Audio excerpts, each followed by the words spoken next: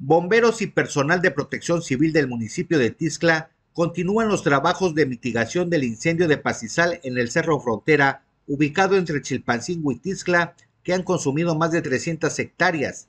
Los fuertes vientos avivaron nuevamente las llamas, ocasionando fuerte contaminación hacia el norte de la capital del estado. La cercanía entre Chilpancingo y Tizcla ha permitido que los grupos de atención de emergencia se coordinen con las unidades de protección civil, pero lo agreste de la zona dificulta los trabajos de sofocación. Los terrenos de pastizal de los cerros conocidos como Machogua, donde se ubican antenas de transmisión de canales de televisión y radio de la zona centro, han quedado siniestrados por completo.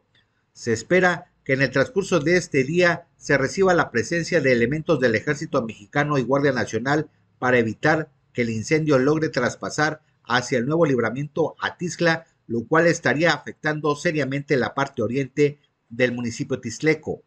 RTG Noticias, Felipe Zurita.